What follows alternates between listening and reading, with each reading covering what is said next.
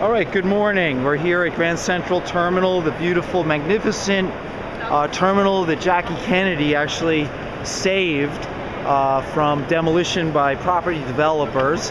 And they wanted to rip this magnificent public transportation hub down in the 60s. And Jackie Kennedy led uh, a popular revolt to, uh, to prevent the developers uh, who apparently bought the air rights uh, and, and, the, and, and were influential to uh, rip this down.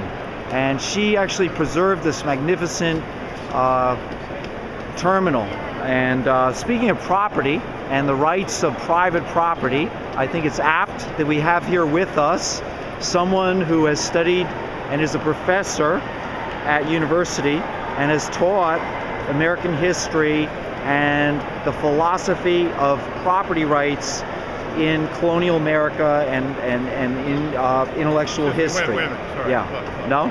I've never taught American history. Oh, I mean. I'm certified to teach it in high school, but I haven't taught Oh, it. Oh, okay. All right. What. I, what I what I taught was law and poverty Oh, in okay. two Indian law schools. Oh, okay. Okay. Okay, I'm a lawyer. Oh, you're a lawyer. Okay. I'm a So lawyer. you're the uh, philosophy of the legal theory of property. Is that what you? Uh, how would you define? I taught some property law, but primarily I taught the philosophy of law, jurisprudence. Okay. Got it. Okay. Okay. What's All your right. name? What's your Richard name? Richard Duffy. Richard Duffy. Thank you for this correction, Mr. Duffy. Professor Duffy. My uh, apologies for. I'm mis- not a professor now. Okay, well, retired Professor Duffy. Okay, and I can tell you're a lawyer because you're very precise in the way you corrected my ignorance. So, uh, okay, I stand corrected. Now, let's continue. Uh, right, we well were talking about developers who apparently were influential enough to have this gigantic uh, transportation hub condemned in the early 60s, and they're going to rip it down and put up something new, like they did over Madison Square Garden, uh, which was also a magnificent uh, room like this and got totally demolished uh, in the 60s. But this one was preserved. Can you tell us about property law in Western history and how it influenced our government, our Constitution? The most important thing to understand is Yeah. about British property law. Uh huh. I, I could talk about the history of it a bit. Yeah. Now, British British property law developed out of the Norman invasion of Britain in 1066. Prior to 1066, the Anglo-Saxons and Jutes, Celts living in England after the Romans left, right, had their own indigenous system, and they were primarily peasants. Um, when William the Conqueror killed Harold and took over the country, he proclaimed himself the owner of all of Britain. And he farmed out his rights to manage Britain to his nobles, who are the basis of the aristocracy of Britain that still continues today. So William said, Look, God wants him to rule Britain. He owns all of Britain, and his caretakers, his plenipotentiaries, are his nobles. Now, they adopted a set of laws for the occupation of Britain because for the first 200 years after 1066, there was uh, all of the business of the court was conducted in French and Latin alone in order to exclude the British from having any effect on their own affairs. The British were stripped of all property rights, and only the Norman French had these rights via the king. Right? The idea under which the peasants suffered was that they were not responsible for growing the crops that they grew. And they did not own the land that they've been living on for hundreds of years. Instead, the king owned the land, and the property system, the, the feudal law, was a complete legal system. That is, they were peasants were totally obligated to the lord of the manor, who made the judicial decisions for them and had all kinds of power over them. Uh, they were obligated to deliver one to two thirds of their crops to the Lord of the Manor.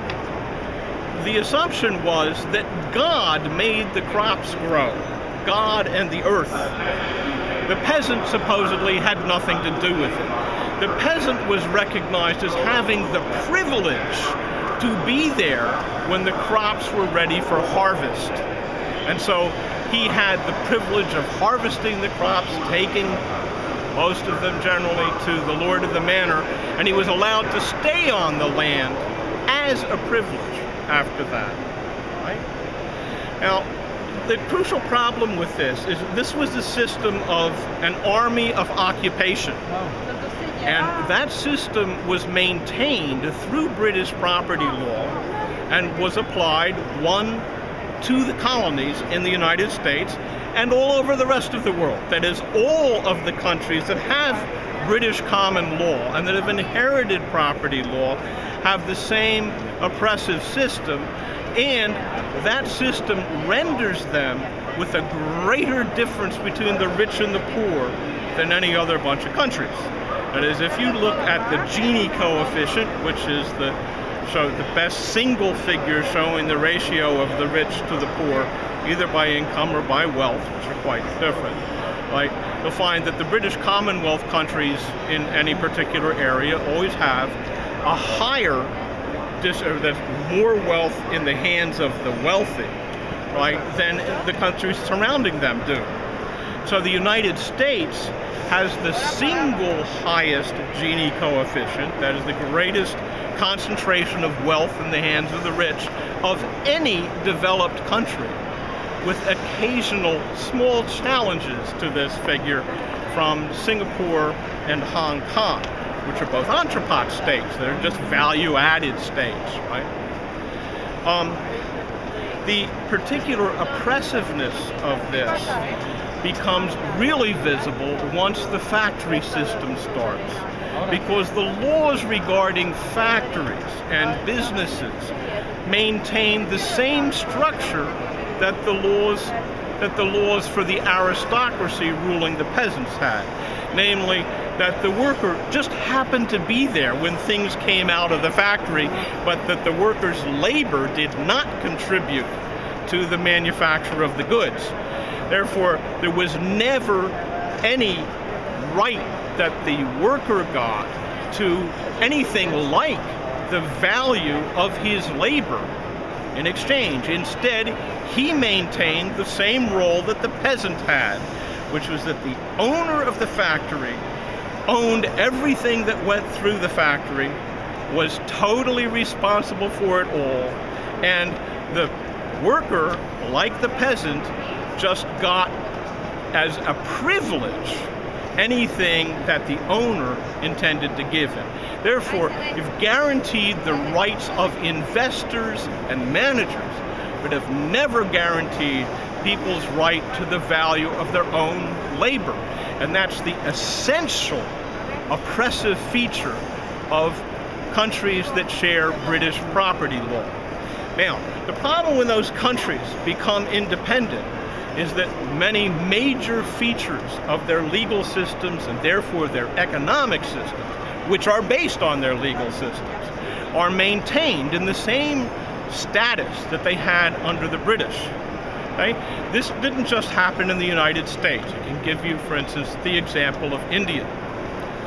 We'll talk about India first to make what happened in the US a little clearer. In India, when independence was proclaimed in 1947, the Indians started to write a constitution. The Indians recognized that 90% of Indians had never been allowed to own property because under the Hindu law system, you could only own property if you had had the Upanayana ceremony given to you by a guru, which meant that only the men of about 10% of the population were eligible to own anything. Okay?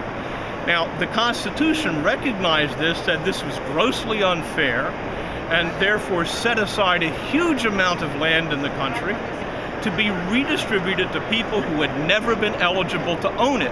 So that people, instead of being tenant farmers, could therefore be be right be self What year was this holdings. Constitution? What, What? year was this? 40s the independence was in 47 the constitution was promulgated in the early 50s Okay. okay the problem was all the indian judges had been trained in british property law and they all said the government does not have the right to give away this property without compensation at fair market value the government never had that money so it. only one and a half percent of the money of, of the land that the Indian Constitution sets aside to be redistributed has ever been redistributed because the British, the judges trained in British property law violated their own constitution in order to maintain the rights of property owners.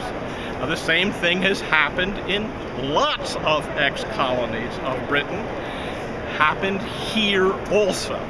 Declaration of Independence says that the Army is going to fight for life, liberty, and the pursuit of happiness. Those are supposed to be inalienable rights. Okay?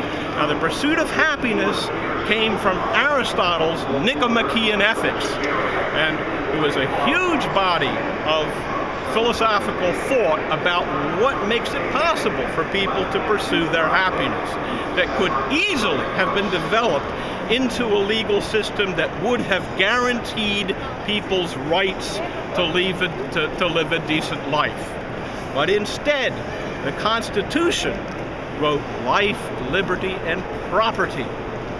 Right? The phrase of, uh, of um, pursuit of happiness never occurs again, and the the Declaration of Independence is not technically part of American law. And so that stream was shut out, was replaced with property. Now, when the Constitution first came out, there were riots on the docks of New York City. People walking around with signs saying one tyrant is as bad as another because they knew that the Constitution was a coup and it was maintaining just the rights that they'd been rebelling against. During the Revolutionary War, the people in people in the U.S. had been tarring and feathering British judges and riding them out of the town on a rail because those were the people who implemented the most hated parts of British law, which was property law. Right? That's what made it possible for people in London to make decisions about the lives of people in the colonies without ever coming to the United States and without being vulnerable in any way for the effect of their decisions. That's why people joined the Constitution, the, the, the army, to fight against the British because they wanted some independence in their lives. Yet, when the Constitution was written, did basically the same thing Indians did.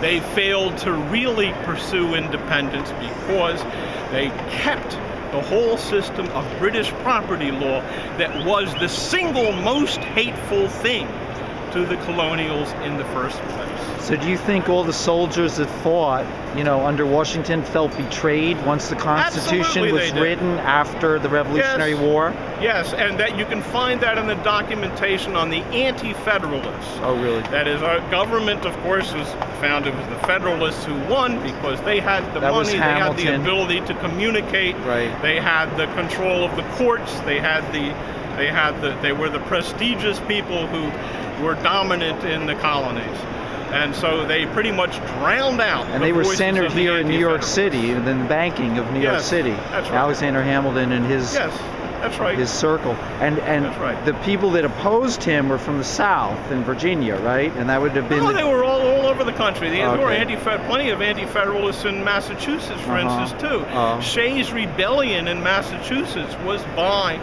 the anti-federalists for the kinds of reasons I've just been outlining. Okay. And uh, what was the role of Jefferson in this? Because Jefferson, Jefferson was initially sympathetic to the anti-federalists, but then when he realized the amount of power that was available through the imperial system, buying land from uh, from France getting the Louisiana Purchase and so on, he adopted the Federalist principle. He did, you Yes. think? Yeah.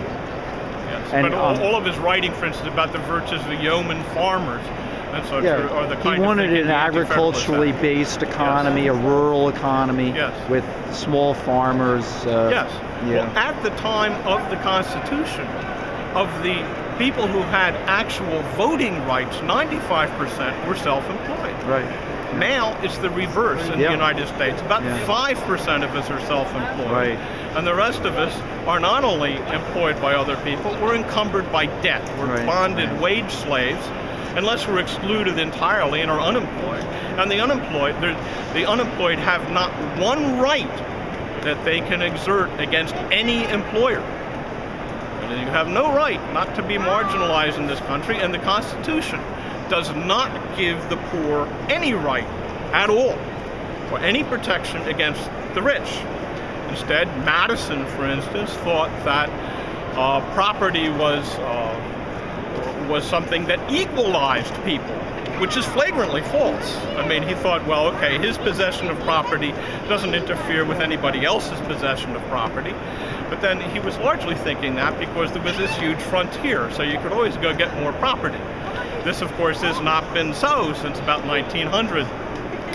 Could, could you talk a little bit about the inherent contradiction between our political process, which is a republic or a quote democracy unquote, and the structure of business, which is basically founded, it's antithetical to our democratic system of organizing our society. In other words, businesses are top down, usually management. Yeah. Uh, the boss can basically dismiss people. It's basically, I won't you know, I hate to use this word fascism, but it isn't. But but it is authoritarian control. So fascism is just the modern form of feudalism. That is, businesses operate on the same principles of property law, right? That that the aristocracy ran Britain with. It's the same problem. That So is, would the you characterize it worker as- just has a privilege, no so right? It's authoritarian top-down Yes. management, Yes. where the people that work or are employed have very little rights, right? Yes. Except that they belong to a union. But even these rights have been stripped since the mid '80s, Not following than, Reagan. Not more than 12% of American workers are attached to unions Right. anymore, Yeah. and those unions will cooperate with management, with very few exceptions.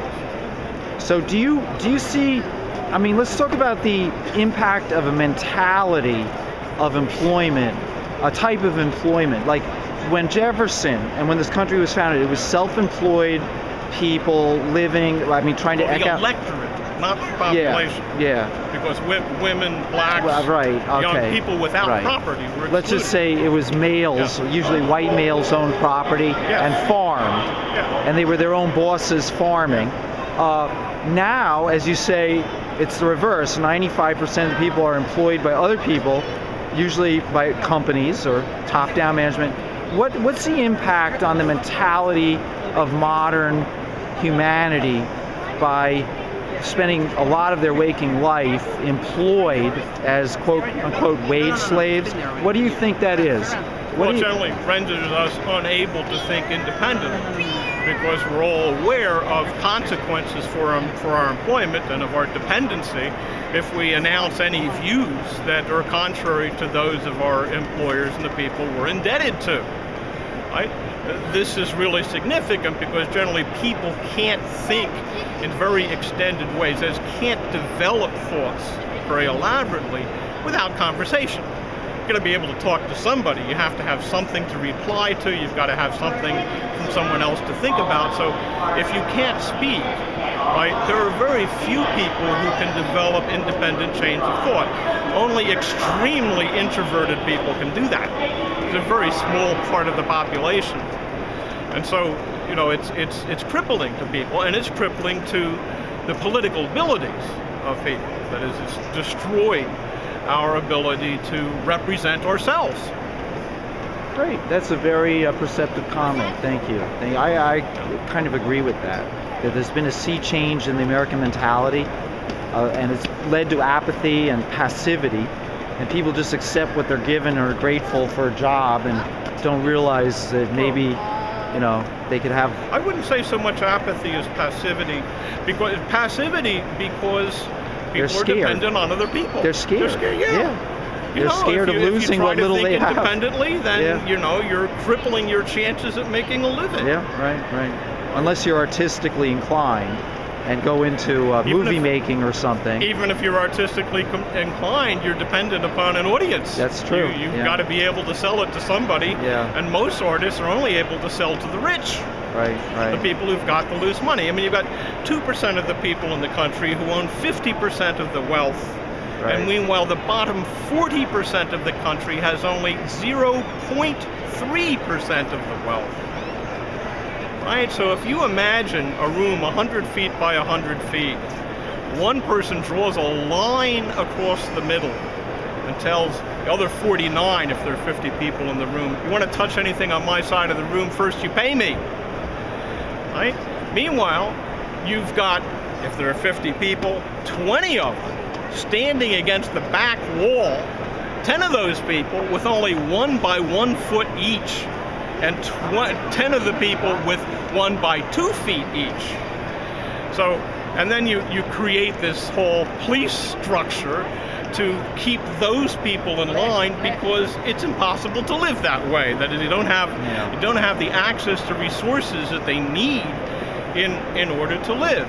And so you make a big deal about you know putting them in prison and trying them and so Do you on. think that's the explanation why America has the largest uh, Absolutely. prison population in the world? More than China or because anywhere? we have the we have the most stratified class system in the developed world. but we don't admit it.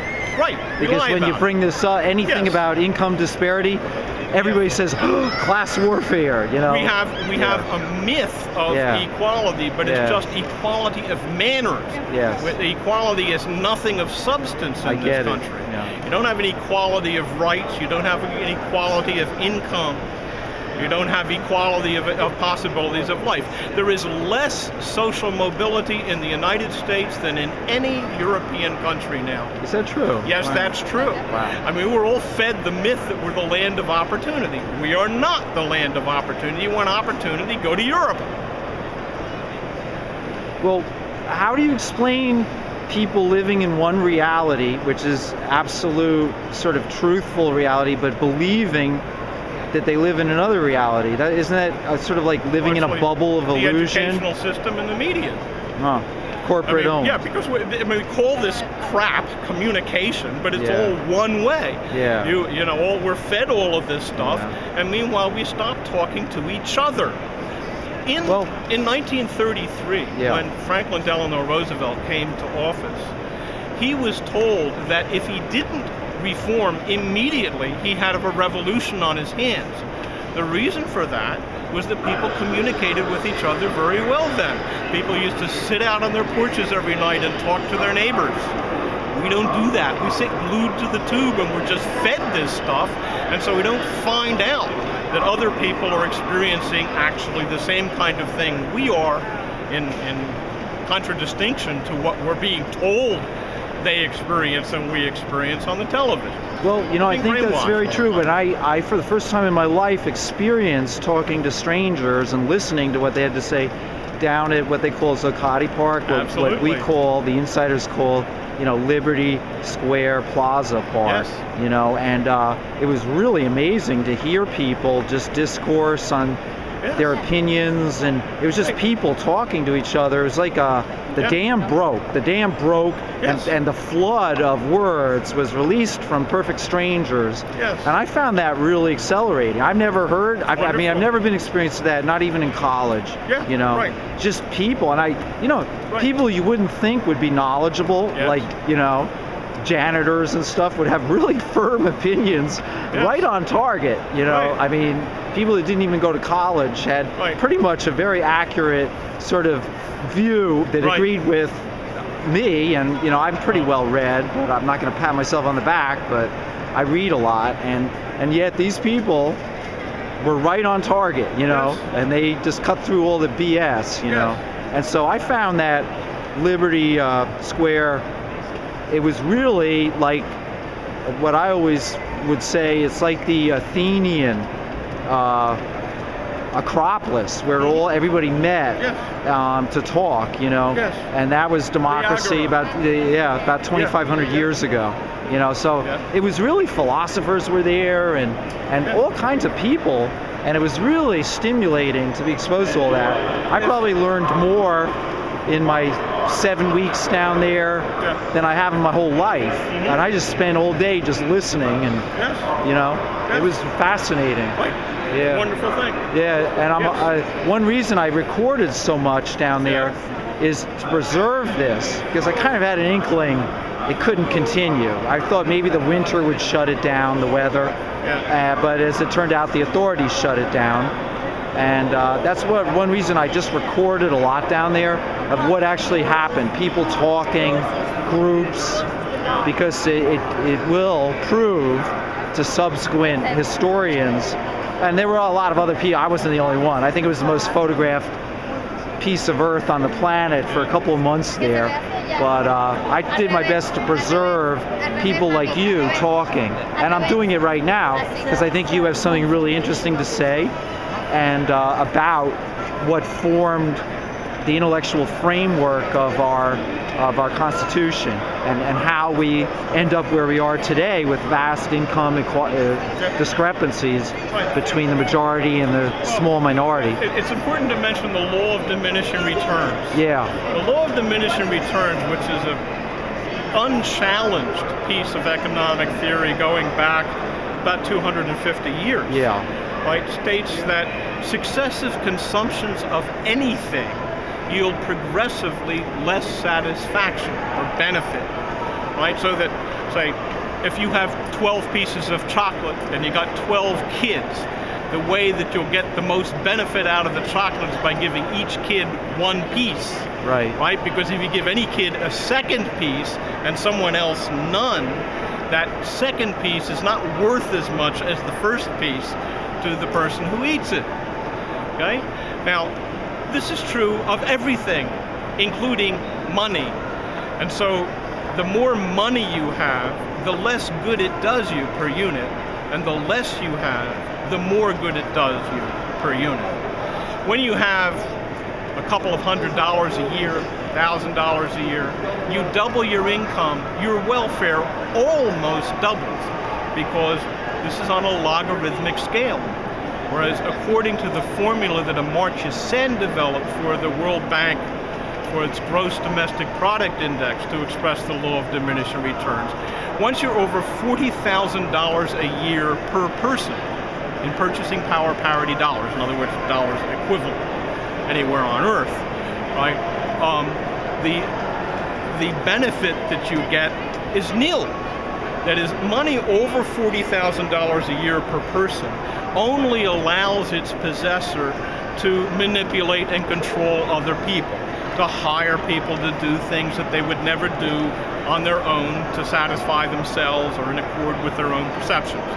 Right? Or To make them- non-essential spending. that You really don't need that product, but you buy it because you have the money, so why That's not? right. Yeah. Creates luxuries. I get it. Yeah, yeah. So that essentially, as the larger part of the wealth of the richest two percent is wasted.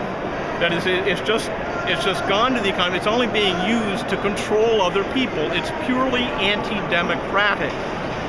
So first off, most of our wealth we don't have access to.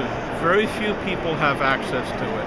Half of our wealth, right, is being controlled by just 2% of the people. And so that's not producing any good for the rest of us. Okay? It's as if you take the country and you split it in half and you say, okay, 6 million people live west of the Mississippi and 294 million people live east of it. Okay? Then if you look at the poorest people, right? Say you look at you look at the poorest 20%. Well, that would actually be something like 62.4 million of us. And if all property were real property, it would just land, that would mean that those 62 million people would live need to live in an area between the size of Delaware and Connecticut right? And that the rest of the country would be protected from them by the police because, of course, you can't reasonably live in that area. They'd have a population density equal to the density of Hong Kong and Singapore, right? And so we we demand absolutely impossible things of our poorest people, and then when they break down, we blame them. But the reason that they're having a hard time is they have no access to physical resources. They can't get educated, they can't get health, they can't get decent housing, can't get decent clothing. You know, and so the problems of their lives are primarily being caused by the poverty they're being blamed for. Now, they can't get out of that poverty because if you want to create a job, I used to write grant proposals uh, for India and Nepal, uh, you have to have at least one year's income in capital in order to create a job, right? Um, so the people in this country are skating along on less than one month's income. So half of us have less than one twelfth of what we would need to create a job. And yet the rich try to humiliate them, and quite effective at doing that, telling them that the problem with their lives is that they're not entrepreneurs when they physically can't be. Huh. I just an atrocious yeah. hypocrisy and, an awful meanness. Again, as you know, we build prisons for the poorest people in the country, but blue collar crime causes only one one hundredth as much loss as white collar crime in the U.S. The only time anybody ever goes to jail for white collar crime like if they rob somebody even richer than they are, as Bernie Madoff did. Right? That we just let white collar crime go.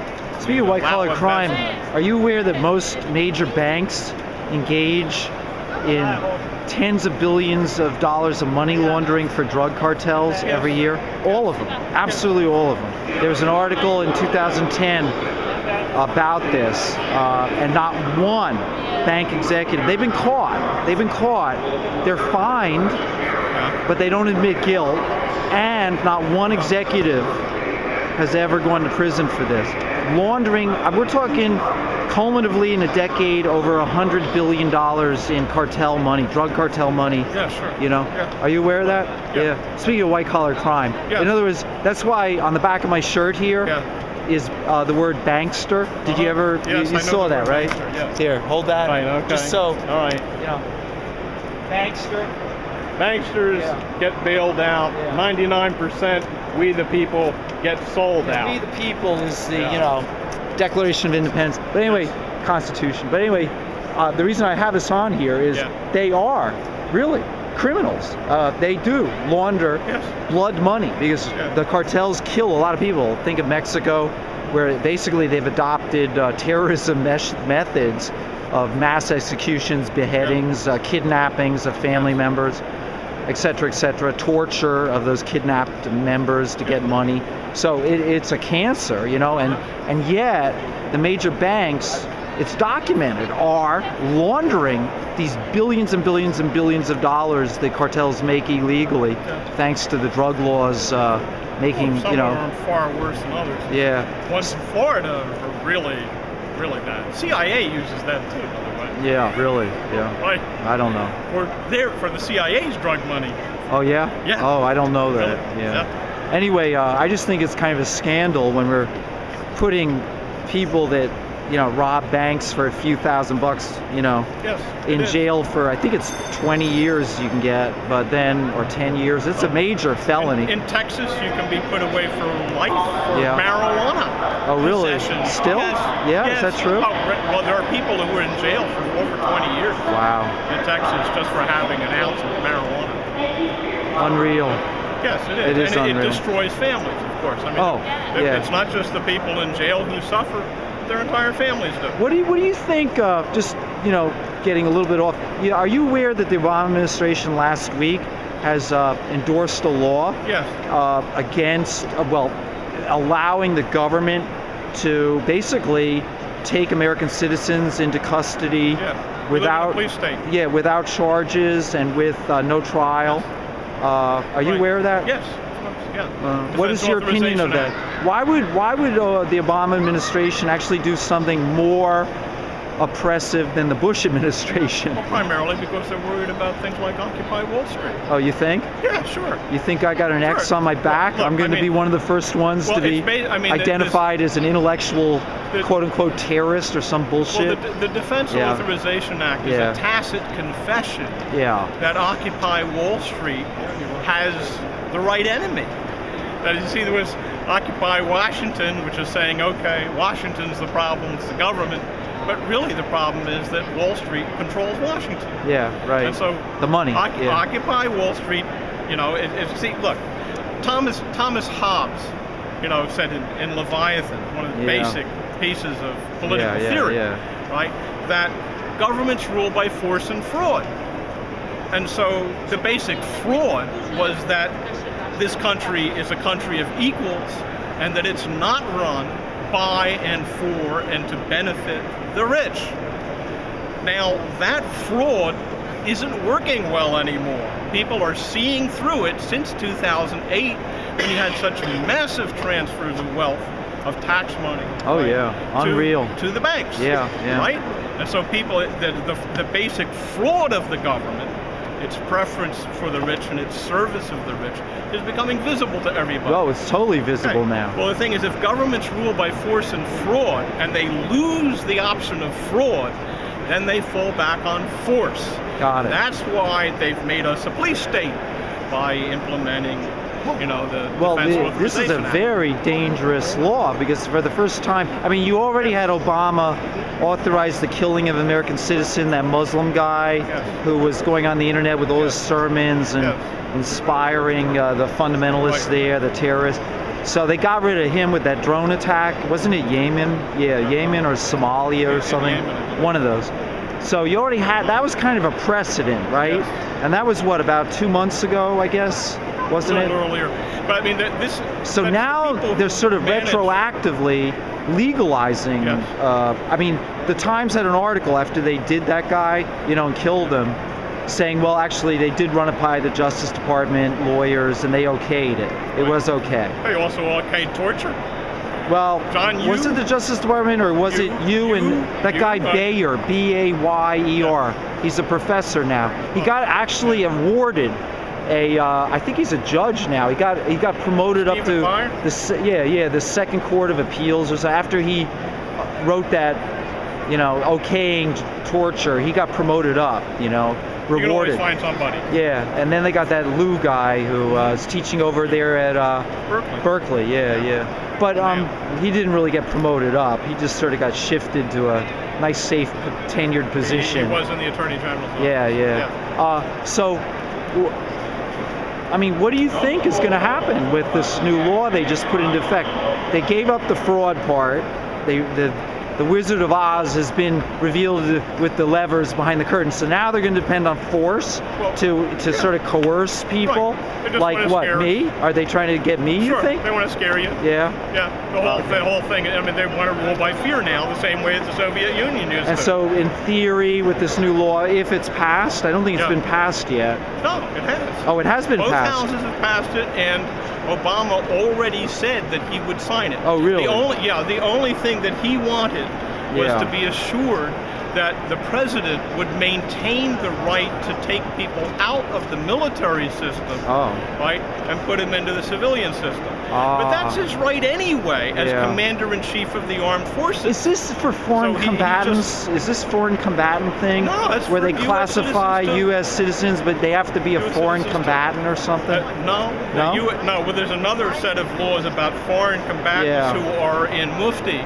that is, who who aren't in uniform. oh, okay. The idea being that Yeah, yeah, they have no say, say, military an, rights. An Iraqi civilian, Right. is really one of the enemy. And he's worse than a regular enemy because he's not wearing his uniform when he may never have had one because he's really a civilian. I get it. right? So it's just it's it's all So the Alice laws of war, the talk. Geneva Accords, really Yeah. don't technically govern somebody like that, fighting in civilian right. Clothes, Well, just- using uh, Yes. like, what do they call it, asymmetric warfare or something, where they, you know, basically terrorism or whatever. Well, they just want it. They just want to be able to go after people who who are not part of any formal military. right. people Like Al just trying to- Qaeda, like Al trying to defend their Qaeda. I mean, Al Qaeda almost Like- could be classified as a like the mafia almost, couldn't they? Like a criminal organization. Yeah. right. And I mean, that was wasn't that the argument that they should just be trying these people in criminal court because they're criminals? Of course. Yeah. Well, but they didn't. They went for the military after, imprisonment. After September 11th, Yeah. as in the first talk that George Bush gave after September 11th, Right. he said a great crime has been committed. Yeah. He never repeated that because his staff know, had to tell him, look, if you call it a crime, then the appropriate thing to do is to sign on to the International Criminal Court, Yeah, like 107 other countries have done. Yeah, right. They don't want to sign on to that because that would make it possible for the court to prosecute uh, American That's officials. fascinating. Yeah, and he also called for So- quote unquote a new crusade, and that just lit up Well, the uh, Arab world. right. Remember that? And they said, Quite "Uh oh, no, no, no, don't say that word." Has Right. very bad historical connotations for for the Muslim world, you know. Sure. But he did call. I mean, he made those two two linguistic Yeah. verbal errors, and they, they never repeated that word crusade or a huge crime, a crime. Uh, so I was unaware they just recently passed, the two houses passed this, Yes. huh? And so technically now, as soon as the president signs it, anybody who is a threat to the government, Well, anyone that the military deems to be a threat.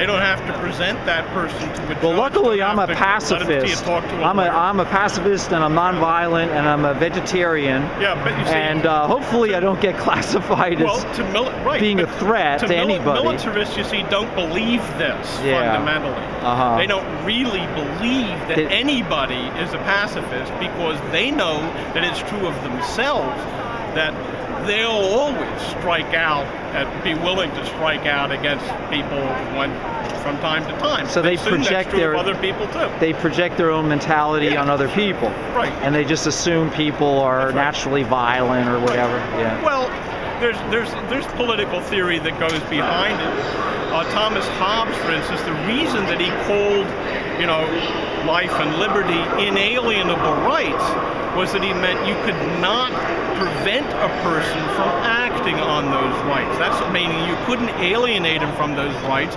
because so long as he had a control over his own body, he could seek his freedom, right, or try to preserve his life. That's why they were inalienable.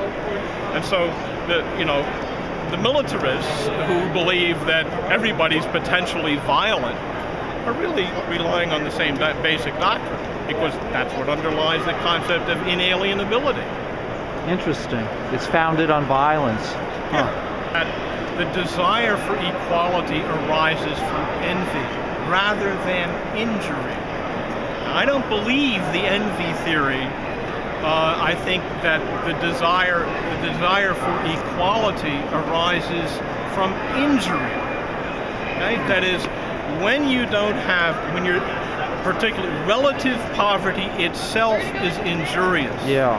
Okay, that is, if you take if you if you take two countries, right, the country that has the higher Gini coefficient or the bigger difference between the rich and the poor will have more violent crime, have more incarceration, more mental illness, more drug use, more teenage pregnancy, right? More obesity, lower test scores, uh, less uh, freedom and power for women, right? All of those things are directly correlated with the level of inequality. It's quite obvious, of course, that extreme inequality is injurious to the poor. But there are two British epidemiologists, Richard Wilkinson and Kate Pickett, written a book called um, The Spirit Level, which in British just means a carpenter's level. Right? Why equal societies almost always do better.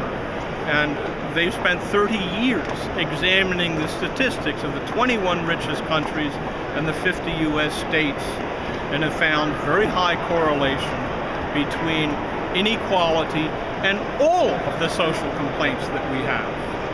That is, more equal countries are more peaceful, they're saner, they're happier, they have higher higher test scores, more skills. As the way that we run this country, we deny most people a decent education so that they can't do things. Or they, go into they debt for hundreds of thousands of Right. dollars, Yes, like these young people in this generation are doing. Absolutely, and the purpose of doing that is to get this to force them once they graduate only to work for the rich who can pay them enough for them to pay back their loans so that they effectively lose their independence as adults they lose their capacity to make moral choices about their career and they're swamped by this system in which They got to the pay that debt back. Yeah, know? right.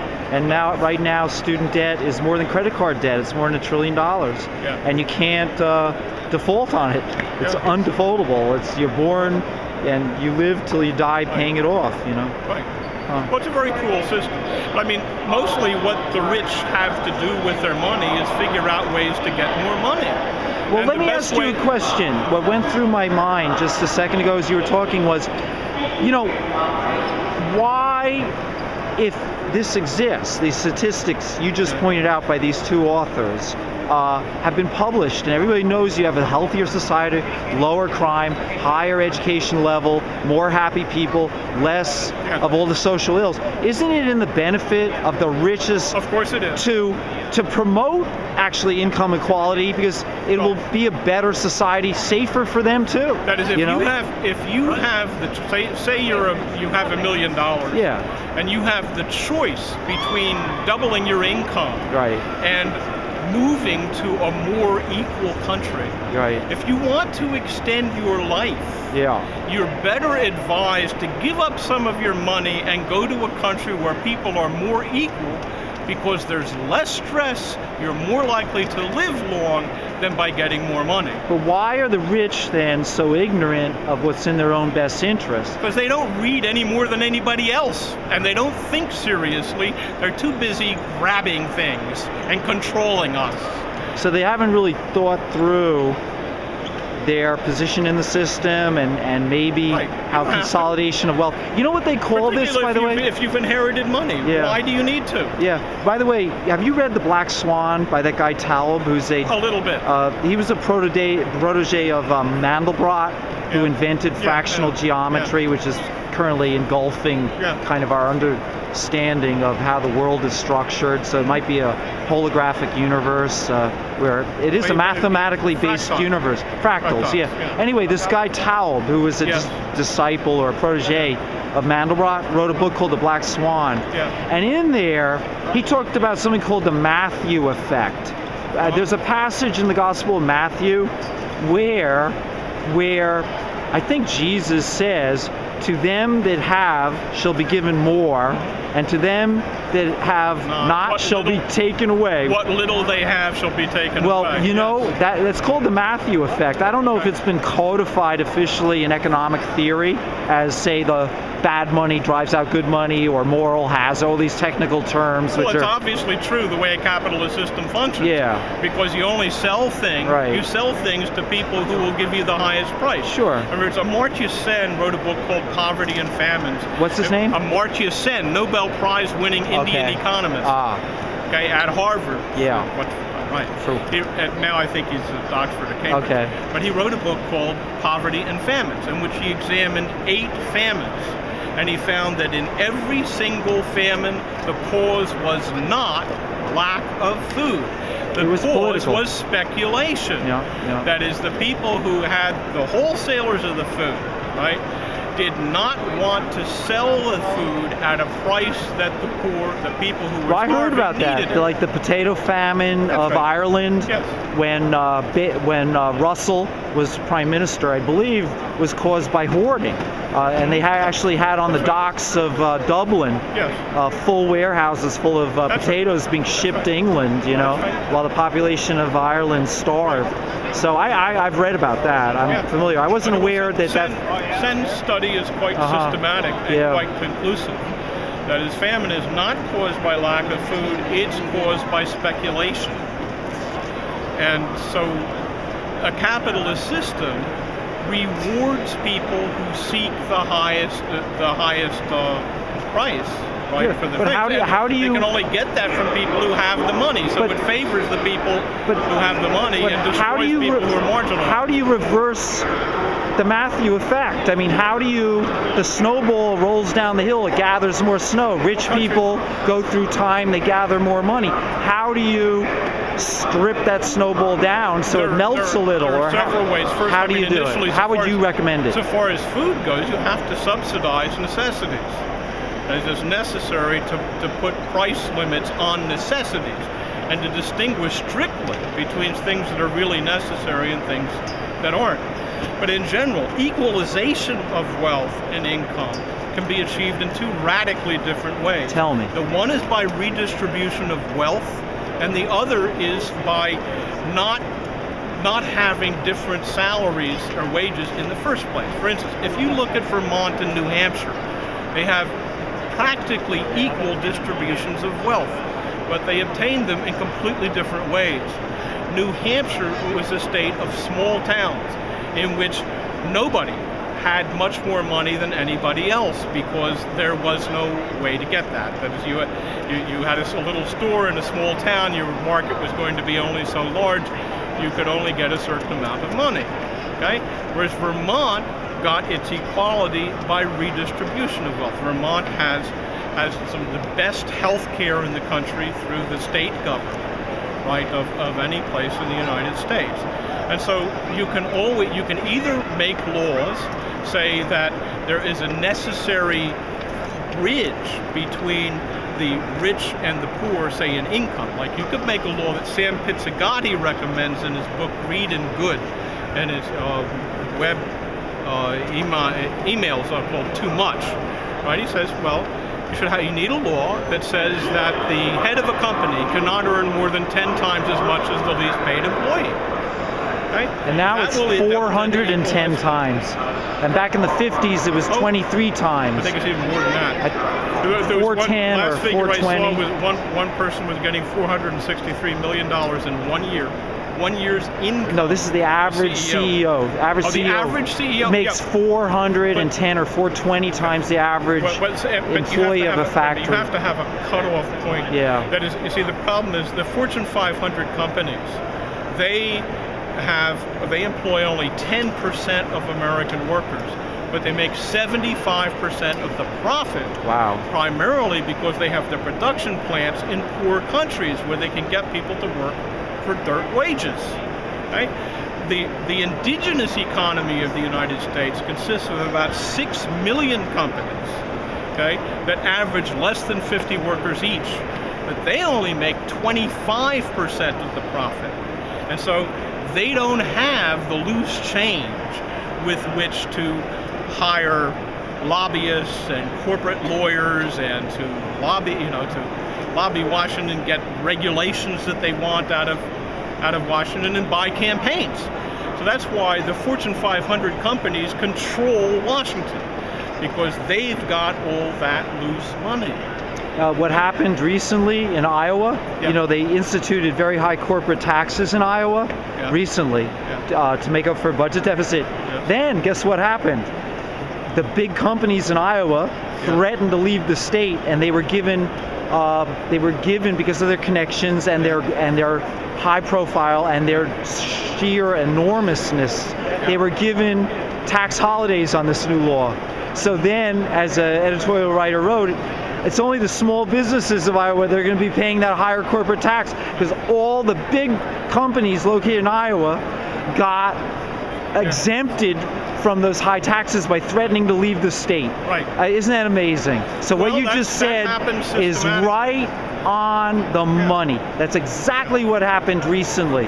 Yep, That, that happened, exactly. for instance, in, in, in the Yeah. mayoral elections Yeah. of Atlanta, Georgia, and Chicago. Yeah. You know, Atlanta, Georgia got its first black mayor, and everyone expected that this would lead to equalization of whites and Yeah, blacks and dreaming, of income right? in, in Atlanta. Keep Instead, dreaming. the factory owners just moved out right outside of town, set up shop Yeah, in the suburbs, yeah, yeah. right, and so didn't have to pay the taxes, and so Atlanta became impoverished. Right, and so they, they do this. And Chicago? You mentioned Huh? Chicago? Chicago, yeah, Mayor Washington. Right, that's a lot of the people thought there was going to be some really Right, right. substantial improvement of the inner city in Chicago. It didn't happen because the the companies just move out. Right. They're free to move. You vote with your feet, I guess, and That's they. why uh, it takes federal legislation. Yeah. But you see, it's exactly in the federal government that the that the Fortune 500 are strongest. That's Speaking, where they concentrate. I hear you. Speaking of uh, just corporation power, influence of government, what do you think about the recent Supreme Court decision which gave companies uh, First Amendment rights, which were applied Citizens to people? United. Yeah, Citizens United. What do you think about that? Why would the Supreme Court of do that? Of the people of the country. I mean, this is an obviously asinine decision, which shows you that at this point the the Supreme Court is composed primarily of political hacks from the Republican Party. But that's so It's bizarre. not- They're all very well educated in the Ivy League, Princeton, Yale, Harvard. How could people that are supposed to be so well versed in constitutional law end up giving First Amendment rights to corporations? Well, first off, because access to elite schools primarily depends on class. That is, when you look, you look at SATs and GREs and Yeah, all of that, yeah, yeah. and primarily what they're measuring is different kinds of cultural knowledge, which the upper class always has more of than lower classes because they have much wider contacts. When you're in a lower class, you know the people in your neighborhood. Sure, right. When you're in the upper class, you know people all over the country and often Sure. all around the world. Yeah. And so, and you you have journals and all kinds of information. Right. So, you know, things like IQ tests and so on primarily affect class. But so how this- could the this- Supreme Court, from this uh, ruling class or intellectual class, well educated, they should know better. What is? Why would they make such a decision? I mean, Because they're serving the rich. They, they are. They come from wealthy backgrounds. They believe in the rich. They think that they, the Constitution tells them that there's no right that a poor person deserves to have against the rich. That the rich don't have obligations to the poor. The only thing that has ever protected the poor in any way in the Constitution is interpretations of the welfare clause, which doesn't say anything specific. I mean, there's no equivalent, say, to the protection that blacks get because of the phrase badges of slavery and so on, and, and what's in the contents of the 13th, 14th, and 15th Amendments. oh, is that in there? Yeah. Yeah, Oh, okay. it says, it says that, that in other words, if your ancestors have been slaves, then you're entitled to compensatory benefits. Oh, really? I didn't know that. Huh. Well, yeah. So I'm there's ignorant of that. constitutional- There's constitutional protection. But they never enacted race. it. They never enacted Huh? that, right? No. What do you mean? I mean, they never. If that's in our Constitution, The 14th, the 13th, 14th, and 15th but, Amendments were but no social program. Yeah, but no social programs were started based on that, were there? Well, the Reconstruction. But that was uh, a failure. uh, Reconstruction. Re- yes, I'm saying Reconstruction crushed most of that. Initially, there was a great surge of energy after the Civil War. Yeah. Until about 18, it was dying out between 1875 Yeah, there's a big backlash. Big backlash. Yeah. Yes. Yes. Yeah. And so that you know, but it, So it was, failed. was an attempt. Yeah, it was an But the attempt, but it, it No, failed. but legally it didn't entirely fail.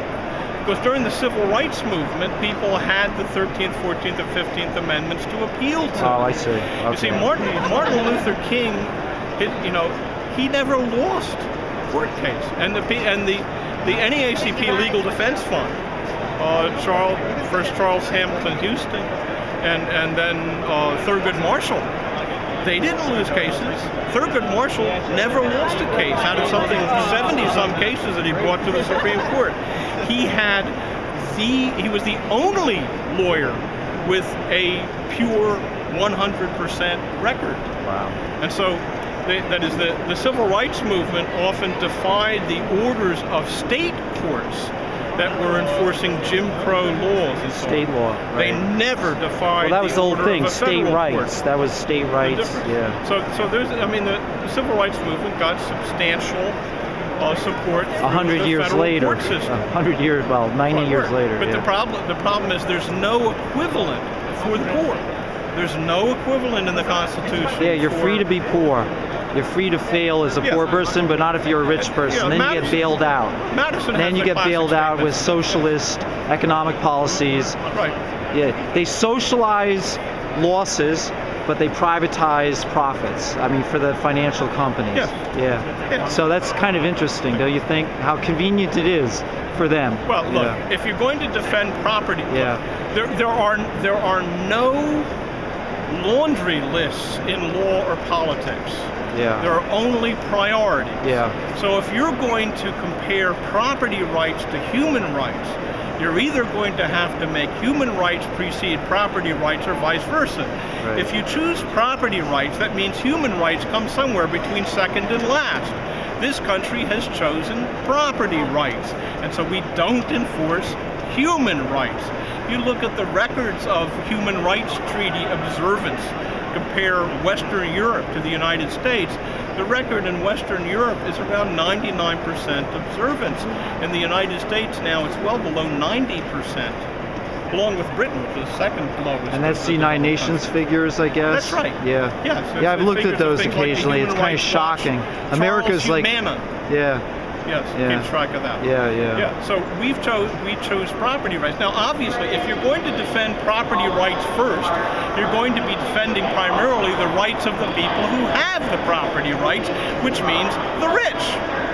Who That's- something? that's right. Or the older generation right. who've been on Earth longer and have amassed more property because they've had the opportunity through living longer to be more ownership. successful. Right. So you're actually defending the older generation against the more vulnerable because newer, younger generation, Yes. basically, right? Yes. And so Security is really a transfer of wealth from the younger generation to the older retired generation, saying, who are already more wealthy anyway because they've had a whole lifetime to be successful, you know. So you can look at it in a, as generational ine- inequality. Well, there's a much bigger difference between the rich and the poor than there is between generations. Right. It's much larger. Sure. And most of the generational difference that exists now exists because of Social Security and pensions. Right, right. What do you think of uh, fragile. Yeah. What do you think of Thomas Jefferson's famous letter to James Madison in which he says the earth belongs in usufruct to the living usufruct U S U F R U C T Usufruct, yes. meaning meaning uh, custodianship stewardship wise management of a resource what do you think about that expression are you It's familiar class- with his classic anti-federalist doctrine. isn't it? Yes. Yeah, Yeah. right, but he he- formulated that with Lafayette and Tom Paine Yes. during the French Revolution with a doctor, Doctor uh, Gott, I think his name was, who was treating his broken wrist. Those uh, four gentlemen came up with that. But what do you think about that as a phrase, usufruct, usufruct uh, generational, generational justice, division of wealth? You have to give me a sentence to answer. I, I Well, I'm don't just- know what, okay. I don't know how to answer to a phrase. Okay, I, was just throwing that out there. Uh, just I thought, I you just know. need a proposition. Yeah, yeah, I- I know. Well- I think something's true or false. Do you think anything could be? Do you think that's true? Let's go with that. I, I don't know what a phrase. Phrases aren't true. Only Okay. propositions. Well, there's an argument based on that. The earth belongs in usufruct to the. uh, You're familiar with the legal term usufruct Yes. from the colonial. So, obviously. So, does do you think that term? You do you think that word? As you rarely read it now. I mean, it was the 17th century Just legal. means anything that comes out of the earth. yeah. Okay. Mm-hmm. Uh, anything that's produced from the earth. So you don't. Do you, so that was Thomas Jefferson's agrarian philosophy question is, of the he- small farmer. Does he think that all people deserve an equal share Of the earth. access of the earth's resources. and he did. I believe people that well, he wasn't consistent about it. He may have said things like that Yeah. from time to time, but that's radically different from the property law system we have. I know, but I don't know if he's responsible for that. You know, Well, if when they wrote the Constitution, wasn't he in um, in Paris? he signed it, Yeah, with but uh, no, but uh, all, I'm, all I'm saying is that Yeah. see, look, if everybody had access to an equal share of the world's resources, the world would be a much more peaceful place because most wars are fought about access to resources. yeah, they've always been over resources. Yeah. Yeah, you're right. That's So for if we- if sure. we- if we One country wants another country's Yeah. treasures, basically. But now, you know, with the internet, everything is intellectual property rights, a lot of it. And you get a lot of industrial espionage. Like they just discovered the Chinese hackers were going into the American Chamber of Commerce website and basically have been uh, looting it for probably a year, but it was just revealed to the public uh, yesterday. So that's intellectual uh, I- I- warfare. I, I- mean, they were stealing all the membership records of the American Chamber of Commerce. I assume also in the Asia uh, basin there, in the Asian. Uh, Well, I don't, I don't Division. Know the, I don't know the ratio yeah. between intellectual Right. property rights and other other kinds of property. Well, what's rights. happening is people. What's going on is countries like China are basically indulging in, engaging in, in industrial espionage or Absolutely. intellectual thievery, uh, Right. and uh, getting away with it. And now, you know, like yesterday was just revealed. Uh, they've known about it for months. The FBI notified the American wait, Chamber. Wait, wait a minute. Slow, yeah, slow down. yeah. I mean, now warfare is not invasions of foreign countries that take what they got. Warfare now is invasions Well, of computer using the word systems. meta- you're you using know? the word metaphorically. Yeah. I mean, look. No, the- that we now have a, a, military. Wait a minute. Wait a minute. Yeah. Please. Okay, Excuse me. yeah, yeah. The, the question of intellectual property rights, Right. you know, the virtue of them, whether they should be maintained. Well, what do you- so what do you think Wait, about that? I'm trying to tell you. Okay, okay, I shut up. Depends very much on what kind of intellectual property you're talking about. Okay. For instance, American companies have put a patent on the neem tree in India. They say they own all rights to the tree, whereas the neem tree has been used by Indians for thousands of years. You know, that is, there are there. Are, the problem is that the intellectual property right routine of the World Trade Organization gives corporations abilities that destroy the rights, for instance, of of indigenous people, traditional rights, and so on. Okay, That's And so- amazing, isn't it? well, yes, it's they can amazing. actually patent a living That's right. organism That's that already has existed for That's millions right. of years. That's right. That's what. and they've done. also patented the human DNA known, right? I mean, ha- didn't they do that too? Yeah. Haven't they patented that? I, am not sure if we've said Or that. I, I, I think they have. I'm not sure, but you know, Well, there'll be in- a lot of different ways of patenting it. maybe it was invalidated, but I know when they first, you know, did the sequence numbering, I don't know how many billions of bits of. Uh, I, I think they p- tried to patent it, but I'm not, I don't know if it held up. I'm not sure. But that means your own DNA is not owned by you. It's owned by Well, I, whoever I, don't- I have to read a patent. I don't know whether that's Yeah. so or not. You see, they could be patenting something like like the the ability to formulate a gene. No, they were they particular when it first remember when they first sequenced it about Well, 15 I'm years ago. But I can't talk about They that. didn't even know what they were patenting it. They didn't know the functions of the genes they were patenting, but they but did it anyway, just to get ownership of them. Then it turned out that 90, what is it, 95 or 98 percent of our DNA is actually useless uh, rubbish, Yeah. been discarded over Yeah, time and just was known a long time stayed in there. Yeah. But they actually patented all the rubbish in there because they couldn't recognize. They didn't know the functions. I, am sorry, I don't, I don't Yeah, know the details. but that was like 10, 15, 20 years ago when they first sequenced it. There was that. Anyway, it doesn't matter. What's your opinion just on what we've been talking about about intellectual property rights of DNA or or, or corporate patenting of life forms? Well, it's what that is one consequence of that regime is a whole lot of people committing suicide. in For instance- India. Yeah, for instance, yeah, the the, But that's- the rights the rights that Monsanto has to different crops and to that use you know Roundup Ready and all of that kind of thing, the insecticides and so on, is they they sell these seeds to Indian farmers, telling them they'll get a much higher yield, and then they prevent the farmers from returning to any of their previous years. So as soon as the farmer has a bad year and is not able to Due to purchase more of their Yeah, seeds, right. he's not allowed to use the seeds he has either. So this is why you know Because like why? Why 100,000 is that? people who've killed them because that's part of the contract. hundred thousand Yes, have, farmers have committed suicide over in this. India Yes, because they lose the right because to they farm. lose the right to use their indigenous. Really, a hundred Yes. Wow. You were over in India recently? I lived, I lived there for seven years. Wow. And then two And- years and in you, Nepal. Wow. I was not aware the figure was so high. Yes. So, wow, that's uh, that's a bloodbath. Arundhati Roy That's almost like about genocide. This, so Vandana Shiva. What is it? Arundhati Roy and Vandana Shiva write about it.